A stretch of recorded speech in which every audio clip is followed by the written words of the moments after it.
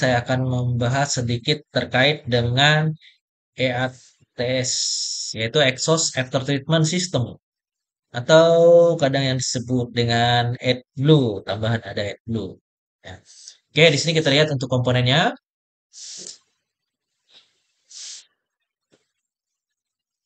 Nah, yang pertama kita lihat ya, sebagian dari komponen yang nomor satu ini adalah EGR atau Exhaust Gas Recirculation. Kemudian ada DPF, Diesel Particulate Filter, yang berfungsi nanti untuk memfilter exhaust gas. Kemudian yang nomor tiga itu adalah AdBlue Tank. Nah ini yang disebut dengan sistem AdBlue, itu sebenarnya adalah tangkinya. Kemudian yang nomor empat di sini adalah SCR atau Selective Catalytic Reduction. Nah, selanjutnya kita lihat ya untuk bagian dari komponen-komponen EATS ya. Nah, kita lihat dari yang nomor satu ini adalah ACM atau After Treatment ya. Jadi ini adalah control unit yang mengatur sistem EATS ini sendiri ya.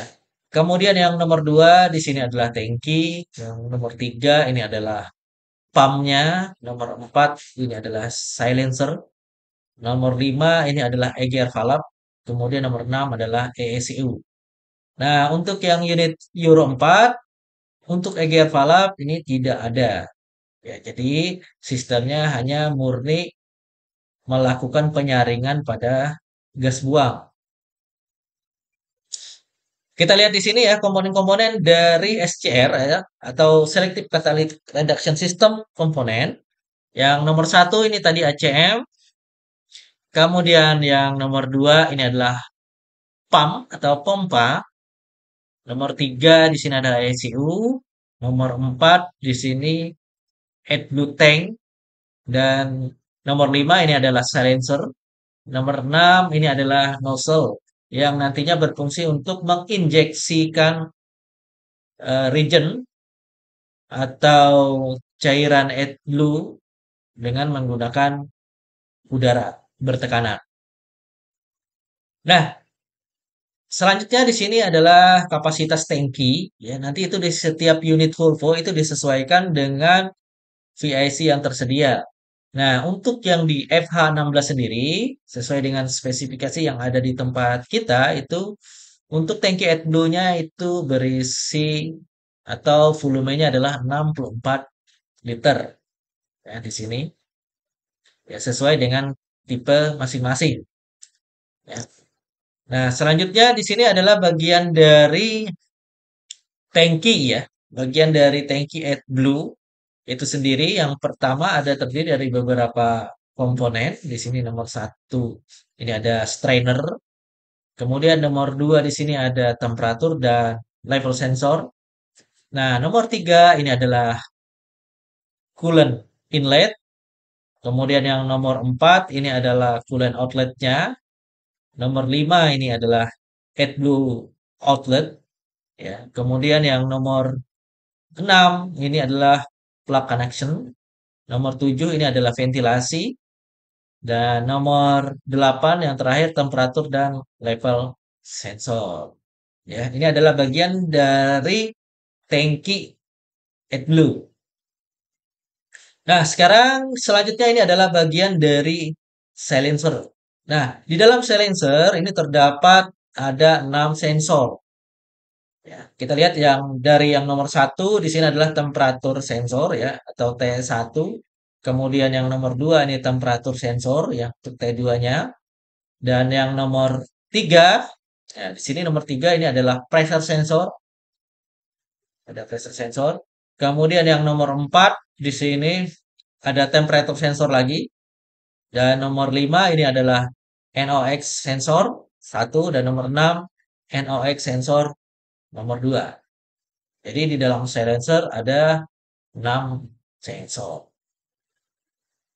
Nah, selanjutnya ini adalah uh, diagram dari sistem SCR yang ada pada unit Volvo FH.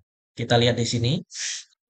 Yang nomor 5 ini, ini adalah bagian uh, ECM-nya. Ini bagian tangki. Nah, bisa rekan-rekan perhatikan, di sini yang nomor 9 atau yang warna hijau, ini adalah jalur coolant. Ya, jadi jalur coolant ini nanti berfungsi adalah untuk memanaskan dari region atau dari cairan AdBlue ini agar tidak membeku. Dan valve ini akan terbuka yaitu ketika temperatur itu sudah di atas minus 6 derajat. Ya, jadi ini coolant ini berfungsi sebagai heating atau sebagai pemanas. Kemudian selanjutnya ini yang nomor 7 di sini ini adalah jalur untuk pneumatic system. Nah, di sini ada valve nanti yang akan mengatur untuk membantu melakukan injeksi pada silencer ya bersamaan dengan cairan AdBlue. Nah, nanti cairan AdBlue ini sebelum masuk ke dalam pompa nanti akan dipanaskan ada heater. Kemudian nanti akan disaring masuk ke pompa, kemudian diatur uh, tingkat uh, volumenya dan di sini juga ada temperatur sensornya dan pressure sensor, kemudian ada heating juga ya atau bagian heater untuk melakukan penyemprotan. Ya, jadi seperti itulah istilahnya garis besar cara kerja dari AdBlue. Nah, ini untuk kontrol unit ECU. Kemudian di sini tadi ACM. Nah, ada beberapa fase sebenarnya di dalam proses kerja AdBlue ini. Ya, ada namanya nanti uh, filling pass ya atau proses pengisian ya di pada bagian pipa-pipa di injektor ini. Kemudian nanti ada dosat ya dosat atau dosis ya. Nanti adalah jumlah AdBlue yang akan disemprotkan. Kemudian yang terakhir itu ada dra draining pass, yaitu proses draining pada sisi AdBlue. Oke, rekan-rekan semua, mungkin itu saja terkait dengan pembahasan Edlu. Silakan kalau ada yang mau bertanya, silakan ketik di kolom komentar. Kurang lebihnya saya mohon maaf. Terima kasih dan semoga bermanfaat. Alright.